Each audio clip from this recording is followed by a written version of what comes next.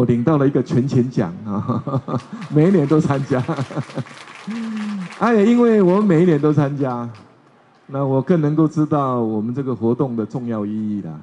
特别我很钦佩宇贤啊，还有他爸爸父子两位结合社会公益的力量啊，来关心照顾弱势的儿童。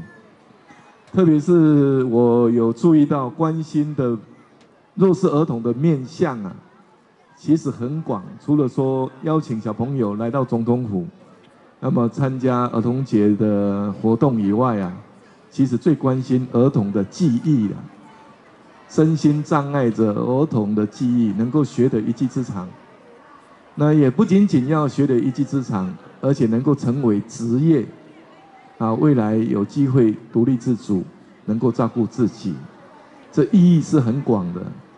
那另外一个是从身心障碍的儿童，一直到弱势的家庭、原住民的家庭等等啊，所以关心的触角，那么爱的范围也越来越广啊。那实在是非常令人钦佩。那当然，我也要利用这个机会感谢啊各位赞助的。企业了哈，我出席了四年，那我在这四年里面也都看到张总裁，看到林心理董事长，看到廖董事长，看到刘董事长，看到在场的各位。换句话说啊，对，没有缺席啊，不仅仅我没有缺席，大家都没有缺席。应该台湾应该是要在这块土地上，每一个人，不分族群、不分年纪，哪怕是身心障碍，也有机会追求他们的梦想。